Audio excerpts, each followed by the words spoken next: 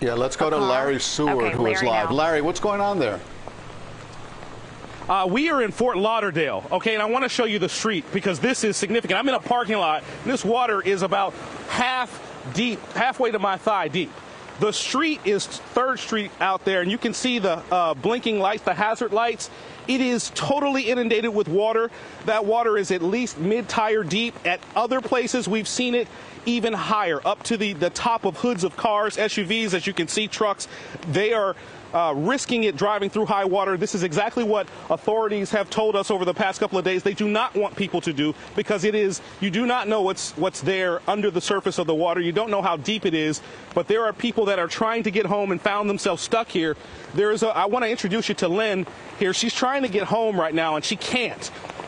Lynn, I'm going to step over to you if that's okay. We- We're live. This is I'm, we're live on CBS Miami. I just wanted you to tell people, sort of, you're you're stuck here. You're trying to get home, correct? Yes.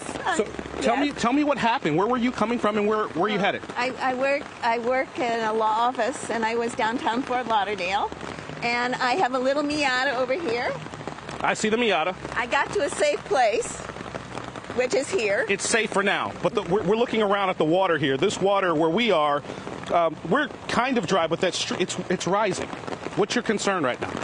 I have no way to get home. I called my son, who's at my house, and I live on a lake, and he's stuck where he is because he the water's so high that he can't leave. So even though he has an SUV, he can't get out of where I live to even come get me.